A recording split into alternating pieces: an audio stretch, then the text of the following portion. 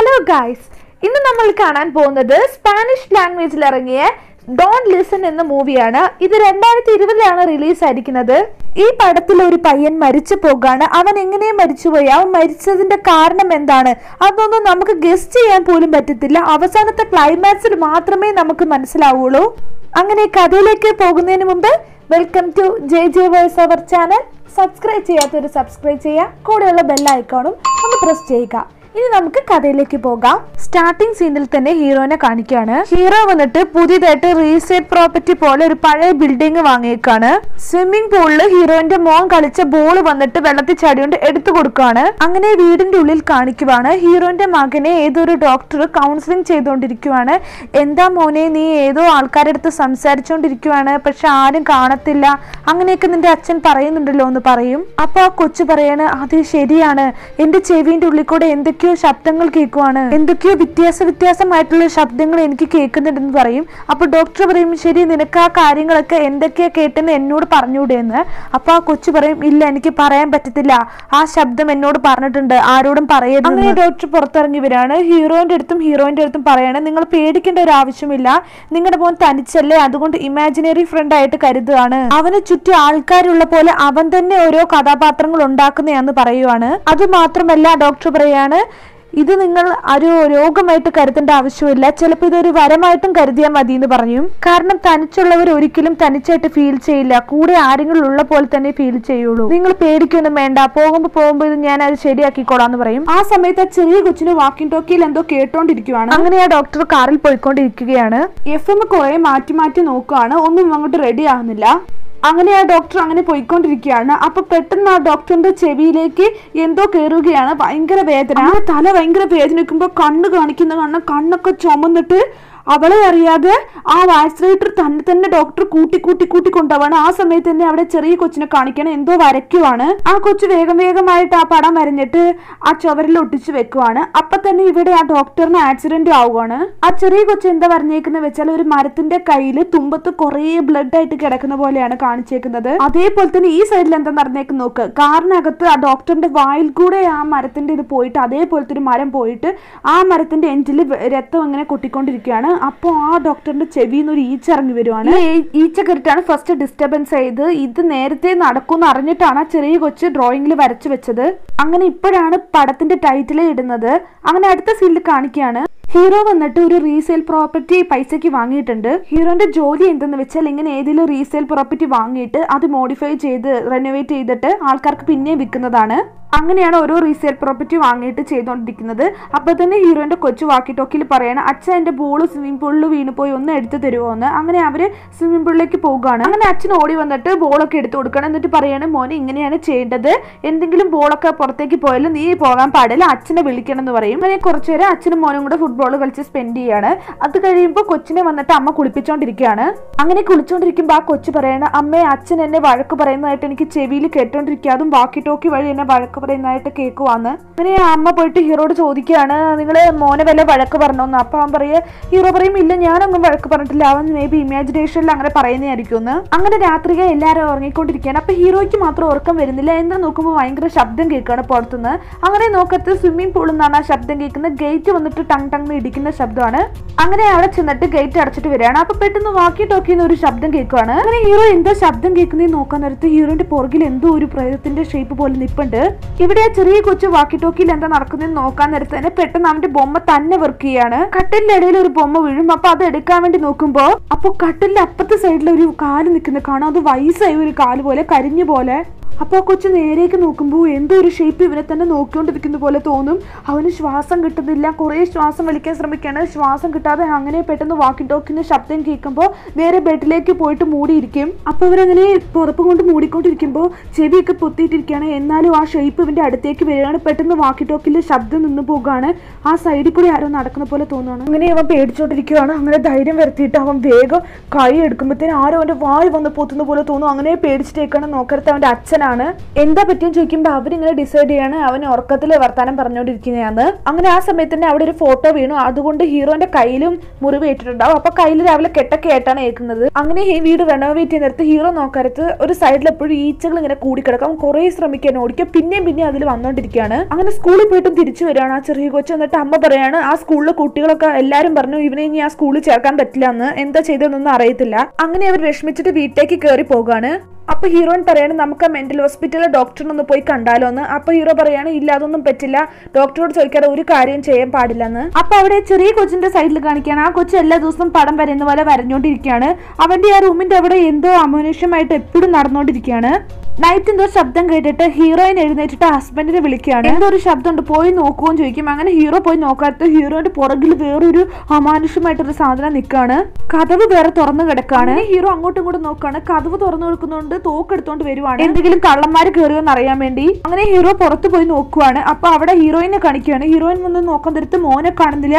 അയ്യോ മോനെ കാണുന്നില്ല എന്ന് പറഞ്ഞിട്ട് പേടിച്ച് പേടിച്ച് നോക്കുവാണ്. അങ്ങനെ ഹീറോ അങ്ങോട്ടും ഇങ്ങോട്ടും നോക്കാൻ നേരത്ത് സ്വിമ്മിംഗ് പൂളിന്റെ ഗേറ്റ് തുറന്നു കിടക്കുകയാണ്. ഡാനിയൽ ഡാനിയൽ എന്ന് പറഞ്ഞ മോന്റെ പേരും വിളിച്ച് ഓടുവാണ്. അങ്ങനെ അവിടെ പോയി നോക്കിയാൽ ആ സ്വിമ്മിംഗ് പൂളിന്റെ ഉള്ളിൽ വെള്ളത്തിനകത്ത് മകൻ മരിച്ചു കിടക്കുവാണ്. അതുകൊണ്ട് ഹീറോ സ്വിമ്മിംഗ് പൂളിലേക്ക് ഉള്ളിലേക്ക് ചാടുകയാണ് എന്നിട്ട് ഹീറോന്റെ മകനെ രക്ഷിച്ചോണ്ട് വരിക പക്ഷെ മകൻ മരിച്ചു പോയി കഴിഞ്ഞു. ഇതൊക്കെ ആ ജനലിൽ നിന്നിട്ട് ഒരു അമാനുഷം നോക്കിക്കൊണ്ടിരിക്കുകയാണ്. അങ്ങനെ മരിച്ചു പോയി അടക്കം ചെയ്യുകയാണ്. മകൻ മരിച്ചതോടെ ഈ ജീവിതമേ വെറുത്തു പോയ പോലെ രണ്ടുപേരും നിൽക്കുവാണ്. ഹീറോയിൻ പറയാണ് എനിക്ക് ഇവിടെ നിൽക്കാൻ പറ്റുന്നില്ല. ഞാൻ കുറച്ചുനാൾ എന്റെ അമ്മേന്റെ വീട്ടിൽ പോയി നിൽക്കുവാന്ന് പറഞ്ഞ് ഹീറോയിൻ പോകുവാണ്. എന്നിട്ട് ഹീറോ എന്താ ചെയ്യുന്നത് നോക്ക്? ഹീറോ വന്നിട്ട് ഹീറോന്റെ മകന്റെ പഴയ വീഡിയോസ് ഒക്കെ ഇട്ട് കണ്ടോണ്ടേ ഇരിക്കുവാണ്. അപ്പൊ പെട്ടെന്ന് വാക്കി ടോക്കിയിൽ ഒരു ശബ്ദം കേൾക്കുകയാണ് അച്ഛ എന്നെ രക്ഷിക്കുന്ന മകന്റെ ശബ്ദം കേൾക്കുകയാണ് അപ്പൊ ഇങ്ങനെ വിചാരിക്കുകയാണ് മരിച്ചു പോയാണ് ഇങ്ങനെ സംസാരിക്കുന്നു എന്ന് എന്നാൽ ഹീറോ പിന്നെ ആ റെക്കോർഡൊക്കെ എടുത്തൊന്ന് ടെസ്റ്റ് ചെയ്ത് നോക്കുവാണ്. അങ്ങനെ ടെസ്റ്റ് ചെയ്ത് നോക്കാത്തിൽ ആ വോയിസ് വന്നത് ശരിക്കുമാണ്. ശരിക്കും വന്നിട്ടുണ്ട് ആ വോയിസ് അങ്ങനെ ഇതിനൊക്കെ എക്സ്പേർട്ട് ആയിട്ട് ഒരാളുണ്ട്. അങ്ങേരുടെ അടുത്ത് ഹീറോ പോയിട്ട് ഈ റെക്കോർഡ്സ് ഒക്കെ കൊണ്ട് കൊടുത്തിട്ട് പറയും നിങ്ങൾ ഇതൊക്കെ കേട്ട് നോക്കിയിട്ട് നിങ്ങൾ എന്റെ വീട് തേടി വരും എന്ന് പറഞ്ഞിട്ട് ഹീറോ പോകുവാണ്. അങ്ങനെ ആ റെക്കോർഡൊക്കെ കേട്ടിട്ട് പുള്ളിക്കാരൻ ഇൻട്രസ്റ്റ് ആയിട്ട് ആ വയസ്സായ മുത്തശ്ശനും പിന്നെ അങ്ങേരുടെ മോളും കൂടെ വരുവാണ്. വെറുതെ ഇരിക്കല്ലേ? അപ്പൊ അസിസ്റ്റന്റ് ആയിട്ട് വെറുതെ ചുമ്മാ വരുവാണ്. ആ ചെറിയ പെങ്കൊച്ചിന് വന്നിട്ട് ഈ വീട്ടിൽ പ്രേതത്തിനൊന്നും ഒരു വിശ്വാസമല്ല എന്നാലും ചുമ്മാ ഇരിക്കല്ലേ എന്ന് പറഞ്ഞിട്ട് വന്നേക്കാണ്. അങ്ങനെ ക്യാമറയൊക്കെ എല്ലായിടത്തും സെറ്റ് ചെയ്യാണ്. ചുറ്റി എന്ത് നടന്നാലും റെക്കോർഡ് ചെയ്യാൻ പറ്റും. അത് മാത്രമല്ല സൗണ്ടും റെക്കോർഡ് ചെയ്യുന്നുണ്ട് അവർ. അത് മാത്രമല്ല ഹീറ്റും റെക്കോർഡ് ചെയ്യാൻ പറ്റും അവർക്ക്. അങ്ങനെ ആ വയസ്സായ മുത്തശ്ശൻ ആ ഹീറ്റ് മെഷീൻ എടുത്തിട്ട് എവിടെയെങ്കിലും എന്തെങ്കിലും ഉണ്ടോ എന്ന് അറിയാൻ വേണ്ടി ഇങ്ങനെ ചെക്ക് ചെയ്തോണ്ടിരിക്കുവാണ്. അങ്ങനെ നോക്കിക്കൊണ്ടിരിക്കാൻ നേരത്ത് ആ ചെറിയ പെങ്കൊച്ച് പറയാണ് അച്ഛ അച്ഛന്റെ അടുത്ത് എന്തോ വേറെ ഏതോ സാധനം ഇരിപ്പുണ്ട്. ആ ഓണർ ഇവിടെ ഉണ്ട് അല്ലെങ്കിൽ ഓണർ പുറത്ത് പോയെന്ന് ചോദിക്കും. അച്ഛൻ പറയാണ് ഇല്ല ഹീറോ ഇവിടെ ഇല്ല. ഹീറോനെ വന്നിട്ട് ജല്ലിക്കൂടെ നോക്കരുത്. ഹീറോ പുറത്താണ് ഇരിക്കുന്നത്. അപ്പൊ അവൻ ഇവിടെ ഇല്ലാന്ന് പറയും. ഇപ്പൊ ഇവിടെ ഞാൻ മാത്രമേ ഉള്ളൂ. അപ്പൊ നീ കാണുന്നത് ഏതോ അമാനുഷ്യമായിട്ടുള്ള സാധനമാണെന്ന് പറയും. അപ്പൊ പെട്ടെന്ന് ആ പെൺകൊച്ചു വന്നിട്ട് പറയാണ് അച്ഛ അനങ്ങാതെ അച്ഛ. അച്ഛന്റെ ഇപ്പുറത്തെ സൈഡിലാണ് അമാനുഷ്യം ഉള്ളതെന്ന് പറയും. എനിക്ക് ഹീറ്റിൽ ഇത് കൂടെ കാണാൻ പറയും. ആ സമയത്ത് അങ്ങേരുടെ ചെവി പൊട്ടിപ്പോകുന്ന പോലെ ശബ്ദം കേൾക്കണം ഭയങ്കര ശബ്ദം കേൾക്കാണ് അങ്ങനെ ആ ചെവിയിൽ വെച്ചോണ്ടിരുന്ന സാധനം മാറ്റി വെച്ചിട്ട് അങ്ങനെ ഇരിക്കുകയാണ്. അങ്ങനെ രാത്രിയിൽ കാണിക്കുകയാണ്. ആ വയസ്സായ മുത്തശ്ശന്റെ ഭാര്യ നേരത്തെ മരിച്ചു പോയേക്കാണ് പക്ഷെ ഇപ്പൊ ഭാര്യ ജീവനോടുള്ള പോലെയാണ്. ഒരു ഇച്ചിരി ബിയറൊക്കെ ഒഴിച്ചു കൊടുത്തിട്ട് വന്ന് കഴിക്കാനൊക്കെ പറയാണ്. ഭാര്യ സംസാരിച്ചുകൊണ്ട് അടുത്ത് വരികയാണ്. ഞാൻ നിങ്ങളെ കുറെ മിസ് ചെയ്യുന്നുണ്ട്. നിങ്ങൾ എന്നെ പോലെ മിസ് ചെയ്യുന്നുണ്ടല്ലേ? നമുക്ക് രണ്ടുപേർക്കും ഒരുമിച്ചിരിക്കാം. എവിടെയാണെങ്കിലും ഒരുമിച്ച് ജീവിക്കാം എന്ന് പറഞ്ഞിട്ട് കത്തിയെടുത്ത് കൈ മുറിക്കുവാണ് ആ വയസ്സായ മുത്തശ്ശന്റെ. അടുത്ത സീനിൽ കാണിക്കുകയാണ് ഹീറോയിന്റെ അടുത്ത് ഒരു ഫോൺ കോൾ വരികയാണ്. ഹീറോയിന്റെ അടുത്ത് നോക്കാത്ത ഹീറോയിന്റെ മകനാണ് അമ്മേനെ രക്ഷിക്കമ്മേ രക്ഷിക്കമ്മേ എന്ന് പറഞ്ഞിട്ട്. വേഗം വീട്ടിലേക്ക് പാമേ അച്ഛൻ ഏതോ ഒരു മനുഷ്യനെ കൂട്ടിക്കൊണ്ട് വന്നിട്ട് എന്നെ ഡിസ്റ്റർബ് ചെയ്യുക ഞാനിപ്പോ കട്ടിലടിയിൽ ഒളിഞ്ഞുകൊണ്ടിരിക്കുകയാണ് അങ്ങനെ പറഞ്ഞിട്ട് ആ ഫോൺ കോൾ അവിടെ കട്ടാവാണ്. അങ്ങനെ അവിടെ ഡോക്ടറെ അടുത്ത് കാണിക്കുകയാണ്. ഡോക്ടർ വന്നിട്ട് കൈ ഇങ്ങനെ സ്വന്തം മുറിച്ചോണ്ടിരിക്കുവായിരുന്നു. അപ്പോഴാണ് എന്തോ ഭാഗത്തിന് മകൾ വന്നിട്ട് അച്ഛൻ എന്താ ചെയ്യുന്നതെന്ന് പറഞ്ഞ് രക്ഷിച്ചത്? അങ്ങനെ മകൾ വന്നിട്ട് പുറത്തിറങ്ങി നോക്കുകയാണ്. അപ്പൊ അവിടെ നോക്കരുത് മരത്തിന്റെ എല്ലാ സൈഡിൽ കൂടെയും വന്നിട്ട് ആ നാട്ടിലെ പൂച്ചകൾ മുഴുവനും തൂങ്ങി മരിച്ച പോലെ ഇരിക്കുകയാണ്. അപ്പൊ ഹീറോ പറയാണ് ഇത് എങ്ങനെ ഒരു സമയത്തും കൊണ്ട് ഇങ്ങനെ എല്ലാ പൂച്ചകളും തൂക്കി കൊന്നേക്കുന്നത് അങ്ങനെ ഹീറോ എല്ലാ പൂച്ചകളും എടുത്ത് അടക്കം ചെയ്യാണ്. അപ്പൊ തന്നെ ഹീറോന്റെ വൈഫ് വരുവാണ് നിങ്ങൾ എന്താ ചെയ്തത്? എന്റെ മോനെ എന്റെ മോൻ എവിടെ ഇത് ആരാന്ന് പറഞ്ഞിട്ട് അങ്ങനെ റൂമിലേക്ക് നോക്കുകയാണ്. അപ്പൊ പറഞ്ഞ പോലെ തന്നെ ഹീറോയിന്റെ മോൻ അവിടെ ഇരിപ്പുണ്ട്. മോനെ എന്ന് വിളിച്ച് അടുത്തേക്ക് തൊടാൻ പോകുമ്പോഴത്തേന് വേഗം കട്ടിലടിയിലേക്ക് കയറി ഒളിഞ്ഞേക്കുവാണ്. അങ്ങനെ കട്ടിലടിയിലേക്ക് ഒളിഞ്ഞു നോക്കുമ്പോ അവിടെ വന്നിട്ട് മോനെ കാണുന്നില്ല. പകരം വയസ്സായ ഒരാളുടെ കാലാണ് കാണുന്നത്. അത് കണ്ട് പേടിച്ചു പോയി ഹീറോയിൻ അങ്ങനെ കട്ടിലിന്റെ മുകളിലേക്ക് നോക്കുമ്പോ ഒന്നും കാണത്തില്ല. പിന്നെയും കുഞ്ഞു നോക്കും. അപ്പൊ അത് ഒരു സ്റ്റെപ്പ് എടുത്ത് വെച്ചിട്ടുണ്ടാവും. പിന്നെയും മുകളിലേക്ക് നോക്കും. അവിടെ കാണത്തില്ല. പിന്നെ താഴേക്ക് നോക്കുന്നിടത്ത് കട്ടിലിന്റെ മേലേക്ക് കേറുന്ന പോലെ തോന്നും. നോക്കാൻ നേരത്ത് പെട്ടെന്ന് മോന്റെ കാലായിരിക്കും പോകുന്നുണ്ട് അത് പേടിച്ചിട്ട് ഹീറോയിൻ പുറത്തേക്ക് ഓടി വരും അങ്ങനെ ഓടാൻ നേരത്ത് പുറകോട്ട് നോക്കിയാണ് ഓടുന്നത്. അങ്ങനെ വീഴുവാണ് അങ്ങനെ ഒരു സ്ഥലത്ത് പോയി ഇരിക്കാൻ നേരത്ത് ഒരു കാലിനകത്ത് കയറി പിടിക്കാണ് വയസ്സായ ഒരാളുടെ കാലും. അല്ലെ ആ വയസ്സായി പോയ ആ ഷേപ്പാണ് ഇപ്പോൾ ഉള്ളത് പുറകിൽ. അയ്യോ അങ്ങനെ അതൊക്കെ കണ്ട് ഹീറോയിൻ ഭയങ്കര പേടിച്ച് ഷോക്കായി പോയി. അപ്പൊ വയസ്സായി മുത്തശ്ശൻ വന്നിട്ട് എല്ലാം റിസർച്ച് ചെയ്തുകൊണ്ടിരിക്കുകയാണ്. ഈ വീട്ടിലെന്താ നടക്കുന്നതെന്ന്. അങ്ങനെ മോൾ പുറത്ത് പോയിട്ട് അവിടെ കട വെച്ചിരിക്കുന്ന ഒരു പെണ്ണിന്റെ അടുത്തോ ഒരു മുത്തശ്ശിന്റെ അടുത്ത് പോയി ചോദിച്ചിട്ട് വീട്ടിൽ എന്താ നടക്കുന്നതെന്ന് അറിയാൻ വേണ്ടി അവരുടെ വീട്ടിലെ ബാക്ക്ഗ്രൗണ്ട് അന്വേഷിച്ചിട്ട് വന്നു. അപ്പൊ ആ മുത്തശ്ശൻ പറയുന്നത് ഇങ്ങനെയാണ്. ആക്ച്വലി ഈ വീട് പണ്ട് കാലത്ത് വന്നിട്ട് ഒരു കോർട്ടായിട്ടായിരുന്നു ഉണ്ടായിരുന്നത്. അത് വെറും കോർട്ടല്ലായിരുന്നു ശൂന്യക്കാരികൾക്ക് വേണ്ടി ഉണ്ടാക്കിയ ഒരു കോർട്ടാണ് അവരെന്തെങ്കിലും തെറ്റ് ചെയ്താലോ അങ്ങനെ പിടിച്ചിരുന്ന വേണ്ടി ഒരു കോർട്ടായിരുന്നത് സൂര്യക്കാരികൾ എന്ന് പറഞ്ഞാൽ ഈ മന്ത്രതന്ത്രങ്ങൾ കൊണ്ട് നടക്കുന്നവരാണ്. ഇതിലും സൂനിയക്കാരികൾ എന്ന് പറഞ്ഞ പെണ്ണുങ്ങളെയാണ് പറയുന്നത്. അവരെ വന്നിട്ട് അങ്ങനെ സൂനിയ ഉണ്ടെന്ന് അറിഞ്ഞാൽ തന്നെ അവരെ വെറുതെ ജീവനോട് തന്നെ തീയിലിട്ട് കൊല്ലുവാണ് ചെയ്യുന്നത്. അങ്ങനെ കുറെ പേര് മരിച്ചു വീണിട്ടുണ്ട് ഇവിടെ. അങ്ങനെ മരിച്ചു വീണേക്കവരുടെ ബോഡി ഇവിടെ തന്നെ ഉണ്ടാവുള്ളൂ. അത് എവിടെയും നമ്മൾ കണ്ടുപിടിക്കണം. അത് കണ്ടുപിടിച്ചാൽ നമ്മൾ രക്ഷപ്പെടും എന്ന് പറയും ഹീറോ ഇങ്ങനെ ആലോചിക്കുവാണ്. എനിക്ക് ആ സ്ഥലം അറിയാൻ തോന്നുന്നു. എപ്പോഴും ഒരു ഈച്ച വരുന്ന സ്ഥലം കണ്ടിട്ടില്ല. അതാണ് ഹീറോ ഉദ്ദേശിക്കുന്നത്. അങ്ങനെ പറഞ്ഞുകൊണ്ടിരിക്കുമ്പോൾ ഹീറോന്റെ വൈഫ് വന്നിട്ട് മേളിൽ നിന്ന് തൂങ്ങി മരിക്കുകയാണ്. ഹീറോ കുറെ രക്ഷിക്കാൻ നോക്കും. പക്ഷെ മരിച്ചുപോയി. അങ്ങനെ പോലീസുകാർ വരികയാണ് അന്വേഷിക്കുകയാണ്. അപ്പൊ നോർമൽ സുബിസൈഡ് ആണെന്ന് പറഞ്ഞു ഇവരുടെ മുകളിൽ ഒരു തെറ്റുമില്ല എന്ന് പറഞ്ഞ് അങ്ങനെ നിൽക്കുവാണ്. അപ്പൊ അതൊക്കെ കണ്ട് ആ വയസ്സായ മുത്തശ്ശന്റെ മകൾ പറയാണ് നമ്മൾ ഇനി ഒരു നിമിഷം പോലും ഇവിടെ നിൽക്കാൻ പാടില്ല എന്ന് പറയും. അപ്പൊ മുത്തശ്ശൻ പറയും എന്നെയും കൊണ്ട് പറ്റത്തില്ല ഞാനിപ്പോ വരത്തില്ല എന്ന് പറയും. അപ്പൊ ഹീറോനെ കടിക്കുകയാണ്. ഹീറോയ്ക്ക് വന്നിട്ട് രണ്ട് ആത്മാക്കളെ കാണാണ് പുറകിൽ ഒരു കർട്ടന്റെ പുറകിലായിട്ട്. ഹീറോ നോക്കാൻ നേരത്ത് അവിടെ ആരെയും കാണത്തൂല. അത് വൈഫിന്റെയും പിന്നെ മോന്റെ ആത്മാവായിരുന്നു. അപ്പൊ പെട്ടെന്ന് ഒരു കവർ വന്നിട്ട് ഹീറോന്റെ മേലേക്ക് വീഴാണ് ഹീറോ പെട്ടെന്ന് എഴുന്നേറ്റ് നോക്കും. അത് നോക്കാത്ത സാധാരണ കവറായിരിക്കും അങ്ങനെ വയസ്സെ മുത്തശ്ശന്റെ മോൾ പോകാൻ വേണ്ടി റെഡി ആകുന്നിടത്ത് ആ റെക്കോർഡായ വീഡിയോ എടുത്ത് നോക്കുവാണ്. അപ്പൊ അവിടെ ഹീറോന്റെ വൈഫ് ഇരിക്കുവാണ്. അങ്ങനെ ലൈവായി പോയ റെക്കോർഡിനകത്ത് നോക്കുവാണ്. അവളുടെ അടുത്ത് അടുത്ത ആരോ ഏതോ ഒരു അമാനുഷ്യമായിട്ടൊരു സാധനം ഇരിക്കുവാണ്. അങ്ങനെ സ്വന്തം തനിച്ച് ഏറ്റു പോയിട്ട് സുയിസൈഡ് ആണ് ചെയ്തത്. അപ്പൊ മേളിൽ ഗൺ ഷൂട്ട് ചെയ്യുന്ന ശബ്ദം കേൾക്കും. ഹീറോ ആയിരിക്കും. ഹീറോ പറയണ ഇവിടെ എന്തോ സാധനം ആരോ നടപ്പുണ്ടെന്ന് പറഞ്ഞിട്ട് ഷൂട്ട് ചെയ്തോണ്ടിരിക്കുകയാണ്. അപ്പൊ വയസ്സായി മുത്തശ്ശൻ വന്നിട്ട് തടയുകയാണ് നിർത്തുകയാണ്. അപ്പൊ മുത്തശ്ശൻ പറയാണ് നീ ആദ്യം ഞാൻ പറയുന്ന കേൾക്കുന്ന കാണിച്ചു കൊടുക്കുകയാണ് നീ ഇത്രയും നേരം കേട്ടോണ്ടിരുന്ന നിന്റെ വൈഫിന്റെ വോയിസും അല്ല നിന്റെ മകന്റെ വോയിസും അല്ല അതൊരു സൂന്യക്കാരിന്റെ വോയിസാന്ന് പറയും. ഇതിപ്പോ എങ്ങോട്ടാ പോകുന്ന വെച്ചാൽ എപ്പോഴും ഈച്ച കയറി നടക്കുന്ന സ്ഥലമല്ലേ ഒരു ഓട്ട. ആ ഓട്ടയ്ക്കകത്തേക്ക് പോകുകയാണ് അവിടേക്ക് അടിച്ചു നോക്കാത്ത ഒരു സ്റ്റെപ്പ് പോലെ പോണ. അവർ അതിന്റെ അകത്തേക്ക് ഇറങ്ങി പോകുകയാണ് അങ്ങനെ ഇവർ നോക്കിക്കൊണ്ട് പോകാൻ നേരത്താണ് ആ സൈഡിൽ വന്നിട്ട് ഒരു ജയിലിനകത്ത് ഒരു പെണ്ണിനെ വന്നിട്ട് ജയിലിനകത്തിട്ട് പൂട്ടിയിട്ട് ചിത്രവാദം ചെയ്തേക്കാണ്. പല്ല് വന്നിട്ട് ഉടച്ച് ചുണ്ടൊക്കെ ഒടിച്ചിട്ട് പിന്നെ നാക്ക് ഒന്ന് മുറിച്ച് കളഞ്ഞേക്കാണ്. അപ്പോൾ അവരൊക്കെ പറയാണ് എന്തോ ഇതൊന്നും കറക്റ്റായിട്ട് അറിയത്തില്ല. അത് പെണ്ണ് ആ പെണ്ണ് മരിച്ചു പോയത് ചിലപ്പോൾ സൂര്യ മാത്രം മാത്രം ഇവളുടെ അവളുടെ നാക്കൊക്കെ മുറിച്ച് കളഞ്ഞെങ്കിൽ അവൾ സംസാരിച്ചിട്ട് എന്തോ ഒരു തെറ്റ് ചെയ്തിട്ടുണ്ട്. അതുകൊണ്ടാണ് അവളെ അങ്ങനെ ചെയ്തതെന്ന് പറയും അങ്ങനെ വയസ്സായ മുത്തശ്ശൻ ആ ജയിലിലെ ആ സൈഡിൽ പോയി തൊടുമ്പോഴാണ് അവിടെ ശരിക്കും എന്താ നടന്നതെന്ന് ഇങ്ങനെ കാണിക്കുവാണ് അവർക്ക് ലൈവായിട്ട് അവിടെയുള്ള ഒരു സൂനിയക്കാരിനെ ചുറ്റിയിട്ട് മന്ത്രവാദി ആ പെണ്ണിനെ ചുറ്റിയിട്ട് കുറെ ആ നാട്ടിലുള്ള എല്ലാവരും ചുറ്റി വളച്ച് പിടിച്ചേക്കുവാണ്. അപ്പൊ അവൾ എന്തൊക്കെയൊക്കെയോ മന്ത്രവാർത്തകൾ ഇങ്ങനെ പറഞ്ഞുകൊണ്ടിരിക്കുകയാണ് അത് മാത്രമല്ല അവൾ സാത്താൻ പ്രലോഭനത്തിലാണ്. അവൾ സാത്താനാണ് സംസാരിക്കാൻ വെക്കുന്നത്. അവൾ സാത്താന്റെ ഇതിലാണ് സംസാരിച്ചുകൊണ്ടിരിക്കുന്നത്. അതുകൊണ്ടാണ് അവർ വായി അടിച്ചൊടിച്ചേക്കുന്നതെന്ന് പറയും. ഈ ശൂന്യക്കരികൾ എങ്ങനെയാ നശിപ്പിക്കുന്നതെന്ന് വെച്ചാൽ അവരുടെ മേത്ത് തീ ഇട്ടിട്ട് കത്തിച്ചാൽ മതി. അങ്ങനെയാണ് ആ മുത്തശ്ശൻ പറയുന്നത്. പെട്രോൾ പോയി ഹീറോ തപ്പുവാണ് അവിടെ എവിടെയും. പക്ഷെ കുറച്ച് കിട്ടുന്നുള്ളൂ. ഇനിയും കുറച്ച് അധികം വേണം. അങ്ങനെ ഹീറോ തപ്പിക്കൊണ്ടേ ഇരിക്കുവാണ് അപ്പൊ ഹീറോ പറയാണ് എന്റെ കയ്യിൽ വേറെ ഇച്ചിരി പെട്രോൾ ഉണ്ട് അത് വേറെ സൈഡിൽ ഇരിക്കുന്നത്. ഞാൻ പോയി എടുത്തിട്ട് വരാന്ന് പറഞ്ഞ ഹീറോ പോകുവാണ്. അങ്ങനെ ആ കുറച്ച് പെട്രോളും കൊണ്ട് ആ വയസ്സായി മുത്തശ്ശൻ താഴേക്ക് ഇറങ്ങി പോവാണ്. മോളോട് ഇവിടെ തന്നെ നിന്നാൽ മതി പുറത്ത് നിന്നാൽ മതി എന്ന് പറഞ്ഞിട്ട് ആ മുത്തശ്ശൻ തന്നെ അതിന്റെ ഉള്ളിലേക്ക് ഇറങ്ങി പോകുകയാണ് അപ്പൊ പെട്ടെന്ന് അങ്ങേരുടെ ടോർച്ച് വന്നിട്ട് കിടു അണയുകയും ചെയ്യുവാണ്. അപ്പൊ പിന്നെ ആ ഫ്ലാഷ് ബാക്ക് കാണിക്കുകയാണ്. ആ സൂനിയക്കരീനെ വന്നിട്ട് മന്ത്രവാദിയെ പെണ്ണിനെ വന്നിട്ട് എല്ലാരും കിടത്തിയിട്ട് നീ പിശാജിന്റെ ഇതിൽ മന്ത്രം ചൊല്ലുക സാത്താന്റെ ഇതിൽ മന്ത്രം ചൊല്ലുക അവളുടെ നാക്ക് അറുത്ത് കളയുന്ന സീനാണ് ഇപ്പൊ കാണിക്കുന്നത്. അങ്ങനെ ആ മിഷനും കൊണ്ട് ആ സൂനിയക്കാരിന്റെ വായിലുണ്ടായിരുന്ന നാക്ക് പറിച്ചെടുക്കുകയാണ്. അങ്ങനെ അത് മരിച്ചു പോകുകയാണ് അത് അറ്റാക്ക് ചെയ്യാൻ വേണ്ടി വരുവാണ്. അപ്പം മുത്തശ്ശൻ ലൈറ്റ് പെട്ടെന്ന് തെളിയും. അങ്ങനെ എസ്കേപ്പ് ആവും. മേളിൽ വന്നിട്ട് ആ പെണ്ണ് പറയണ ചെറിയ പെങ്കൊച്ച് പറയണ അച്ഛൻ എന്തെങ്കിലും ആയോ ആയോ എന്ന് പറഞ്ഞുകൊണ്ട് അപ്പോൾ ആ പെണ്ണിന്റെ പുറകിൽ ഏതൊരു അമാനുഷ്യം ഫോളോ ചെയ്തുകൊണ്ടിരിക്കുകയാണ്. അങ്ങനെ നോക്കാൻ നേരത്ത് അത് ആ പെണ്ണിന്റെ മരിച്ചുപോയ അമ്മയാണ്. വാ മോളെ അമ്മയെ മോളെ വന്ന് കെട്ടിപ്പിടിക്കും മോളെ. നീ ഞാൻ മരിച്ചപ്പോൾ പോലും വന്നില്ലല്ലോ എന്ന് ചോദിക്കും. അപ്പോൾ അത് വിശ്വസിച്ചിട്ട് അമ്മയാന്ന് പറഞ്ഞിട്ട് അടുത്തേക്ക് പോകണം അങ്ങനെ പുറകിലേക്ക് നോക്കാത്തൊരു പ്രേതം വരുന്നുണ്ട് അവളുടെ പുറകിൽ പിടിക്കാൻ വേണ്ടി. അങ്ങനെ അവിടെ സീൻ കട്ട് ചെയ്താൽ ഹീറോയിന്റെ അടുത്ത് കാണിക്കുകയാണ് ഹീറോയിന്റെ ഇവിടെ നോക്കാരത്ത് ഒരു വയസ്സായ പെണ്ണിന്റെ കാൽ കാണാണ്. അത് പെട്ടെന്ന് ഇവനെ അറ്റാക്ക് ചെയ്യാൻ വേണ്ടി വരുവാണ്. അങ്ങനെ ഹീറോ തിരിച്ച് അറ്റാക്ക് ചെയ്യുന്ന നേരത്ത് അത് പെട്ടെന്ന് വൈഫ് മൂന്നുമായിട്ട് വരുവാണ്.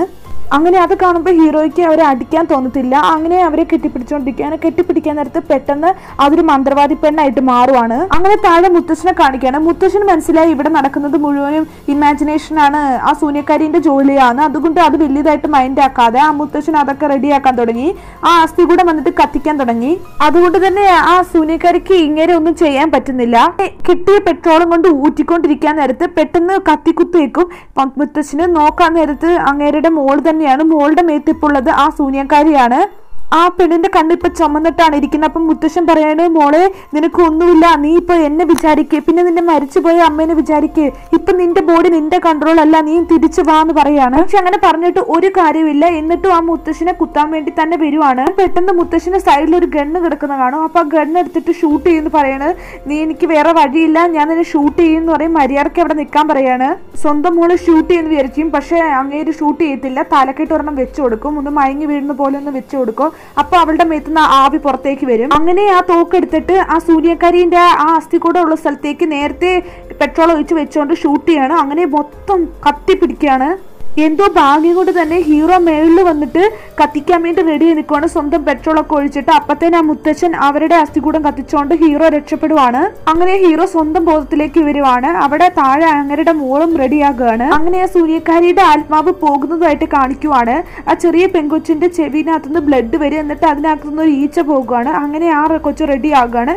എന്നിട്ട് അച്ഛനെ എടുത്തിട്ട് മേളിലേക്ക് പോകണം അച്ഛൻ എന്താ പറ്റിയെന്ന് ചോദിച്ചിട്ട് എന്നിട്ട് മേളിലേക്ക് കൊണ്ട് നിർത്തുവാണ്. അപ്പോൾ ആ മുത്തശ്ശനെ വന്നിട്ട് ആ കൊച്ചിനെ അറിയുന്ന പോലെ തന്നെ ഫസ്റ്റ് എയ്ഡ് ചെയ്ത് കൊടുത്തിട്ട് ആ പെണ്ണ് അവിടുന്ന് പോകണം. അത് കഴിഞ്ഞിട്ട് അച്ഛൻ ഇപ്പൊ കുഴപ്പമൊന്നുമില്ലല്ലോ എന്ന് പറയും. അപ്പൊ അച്ഛൻ പറയും എല്ലാം കഴിഞ്ഞു. നമുക്ക് ഇവിടുന്ന് പോകാന്ന് പറയും. അതേ സമയത്തിന്റെ മേലെ ഹീറോനെ കാണിക്കുവാണ്. അങ്ങനെ ഹീറോ ഹീറോന്റെ മകന്റെ റൂമിലേക്ക് പോകണം. അവിടെ നോക്കാത്ത കുറെ ഡ്രോയിങ് ഇപ്പോഴാണ് ഹീറോ ശ്രദ്ധിക്കുന്നത്. ഫസ്റ്റ് സീനിൽ ആ ഡോക്ടർ മരിച്ചതിന്റെ ഡ്രോയിങ്ങും നേരത്തെ വരച്ചു വെച്ചിട്ടുണ്ട്. പിന്നെ അങ്ങേരുടെ ഭാര്യ മരിക്കുന്നതും നേരത്തെ വരച്ചു വെച്ചിട്ടുണ്ട്. അതൊക്കെ ഹീറോന്റെ മോൻ മരിക്കുന്ന മുമ്പ് തന്നെ ഹീറോന്റെ മോൻ അറിയാം. ഇങ്ങനെ നടക്കുള്ളൂ അത് നേരത്തെ വരച്ചു വെച്ചേക്കുവാണ്. അങ്ങനെ അടുത്ത ഫോട്ടോയിൽ നോക്കുന്ന നേരത്ത് ആ പൂച്ചകൾ മൊത്തം തൂങ്ങി മരിച്ച പോലെ ഉണ്ടായിരുന്നല്ലോ. ആ ഫോട്ടോയും കാണും. അത് കഴിഞ്ഞിട്ട് അടുത്ത ഫോട്ടോയിൽ വന്നിട്ട് ആ വയസ്സായ മുത്തശ്ശൻ കൈ തന്നെ മുറിച്ചില്ലേ? ആ ഫോട്ടോയും കാണും. അടുത്ത ഫോട്ടോ നോക്കാൻ നേരത്ത് ഹീറോ പേടിച്ചു പോകുകയാണ് പെട്ടെന്ന് വാക്കി ടോക്കിൽ പിന്നെ ശബ്ദം കേൾക്കുകയാണ്. അച്ഛ എന്നെ രക്ഷിക്കുക എന്ന്. അപ്പോഴാണ് ശരിക്കും അവിടെ എന്താ നടന്നതെന്ന് നമുക്ക് കാണിച്ചു തരുന്നത്. ശരിക്കും അന്ന് ഹീറോ കിടന്നുറങ്ങിക്കൊണ്ടിരിക്കാൻ നേരത്ത് ഹീറോന്റെ അടുത്തേക്ക് ആ സൂനിയക്കാരി വന്നിട്ട് ഒരു വാ തുറന്ന് ഈച്ച വന്നിട്ട് അവന്റെ ചെവിയിലേക്ക് വിടുകയാണ്. ഇപ്പൊ സൂനിയക്കാരിയാണ് അവന്റെ മേത്തുള്ളത്. അത് കഴിഞ്ഞ് മകൻ പുറത്തിരിക്കുന്നത് കണ്ട ഹീറോ മകനെ എടുത്തിട്ട് പോയിട്ട് സ്വിമ്മിംഗ് പൂളിനകത്തേക്ക് ഉള്ളിലേക്ക് ഇടുവാണ്. എന്നിട്ട് പുറത്ത് വരാതിരിക്കാൻ വേണ്ടി അവനെ മുക്കി കൊല്ലുകയാണ് ചെയ്യുന്നത്. അത് കഴിഞ്ഞ് കഥ പഠിച്ചിട്ടിട്ട് അവൻ ഉള്ളിലേക്ക് പോയിട്ട് ഒന്നും അറിയാത്ത പോലെ കിടക്കുവാണ്. അങ്ങനെ ഒന്ന് കിടന്നു കഴിഞ്ഞപ്പോഴാണ് ചെവിനാർ എത്താൻ പോകുന്നത്. അപ്പോൾ അതിന്റെ അർത്ഥം ആ- റേത അവിടെ നിന്ന് ഇറങ്ങിപ്പോയിന്ന്. അത് കഴിഞ്ഞ് അടുത്ത ദിവസം ഹീറോയിൻ വന്നിട്ട് ബെഡിൽ നോക്കരുത് ബെഡിനകത്ത് കുറച്ച് ബ്ലഡ് കാണും. ഹീറോയിനും ഹീറോയും കിടന്നോണ്ടിരുന്ന ബെഡിനകത്ത്. അങ്ങനെ ഹീറോയിൻ അത് മനസ്സിലാക്കും. ഹീറോയ്ക്കും മനസ്സിലാവും. ഇതെല്ലാം അറിഞ്ഞ് ഹീറോ വന്നിട്ട് സഹിക്കാതെ കയ്യിലുണ്ടായിരുന്ന ഗൺ എടുത്തിട്ട് ഷൂട്ട് ചെയ്ത് മരിക്കുവാണ്. ആ ഡ്രോയിങ്ങിനകത്ത് നേരത്തെ ഇട്ടിട്ടുണ്ടായിരുന്നു. ആ കൊച്ചു മരിക്കുന്നതിന് മുമ്പ് തന്നെ ഇട്ടിട്ടുണ്ടായിരുന്നു. അച്ഛൻ തന്നെയാണ് അവനെ കൊല്ലുവാന്ന് പറഞ്ഞ് ഡ്രോയിങ് വരച്ചിട്ടുണ്ടാവും. അത് കണ്ടിട്ടാണ് ഹീറോ സഹിക്കാൻ വയ്യ തന്നെ മരിച്ചത്. എന്തോ ഒരു ഗൺഷോട്ട് കേട്ടേന്ന് പറഞ്ഞിട്ട് ആ പെൺകൊച്ച മുത്തശ്ശന്റെ മോൾ ഓടി വരികയാണ്. നോക്കാൻ നേരത്ത് ഹീറോ മരിച്ചു കിടക്കുകയാണ്. ഇതും നേരത്തെ സംഭവിക്കുന്നു മോനറിയും. അതും ഒരു ഡ്രോയിങ് ആയിട്ട് വരച്ചു വെച്ചേക്കാണ്. അങ്ങനെ സൈഡിലേക്ക് നോക്കിയാൽ അവൻ മരിക്കുന്നതിന് മുമ്പ് തന്നെ ആ സൈഡിൽ വന്നിട്ട് ആ സൂനിയക്കാരി പെണ്ണ് നോക്കി നിൽപ്പുണ്ടാവും ഇനിയും അത് മരിച്ചിട്ടില്ല. അതിങ്ങനെ ഒരുമാതിരി നടന്നുകൊണ്ട് തന്നെ ഇരിക്കുകയാണ്. ആ വീട്ടിൽ തന്നെ ഉണ്ട് ഇപ്പോഴും. അത് എന്തുകൊണ്ടാന്ന് വെച്ചാൽ ആ മുത്തശ്ശനെ കത്തിച്ചപ്പോ പകുതിയെ പെട്രോൾ വെച്ച് കത്തിച്ചോളൂ. അതുകൊണ്ടാന്ന് തോന്നുന്നു അത് ഇപ്പോഴും എന്റെ ആത്മാവോട് ചുറ്റിക്കൊണ്ട് നടക്കുന്നുണ്ട്. അങ്ങനെ ഈ പടം ഇവിടെ തീരുവാണ്. And once more welcome to J J voice over channel subscribe ചെയ്യാത്തൊരു സബ്സ്ക്രൈബ് ചെയ്യുക. കൂടെയുള്ള ബെല്ലൈക്കോണും ഒന്ന് പ്രസ് ചെയ്യുക.